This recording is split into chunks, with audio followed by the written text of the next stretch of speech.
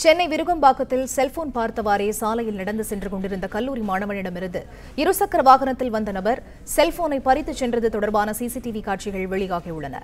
இதுகுறித்த தகவல்களோடு இணைகிறார் எமது செய்தியாளர் கதிரவன். அவரிடம் பேசலாம். வணக்கம் கதிரவன். இந்த சிசிடிவி காட்சிகள் தொடர்பான விவரம் என்ன? தகவல்களை பதிவு செய்யுங்க. சென்னை விருகம்பாக்கம் பகுதியை சேர்ந்தவர் வருண் ராஜேஷ் பதினெட்டு வயதான இவர் பரங்கிமலையில் இருக்கக்கூடிய தனியார் ஹோட்டல் மேனேஜ்மெண்ட் கல்லூரியில இரண்டாம் ஆண்டு படித்து வருகிறார்.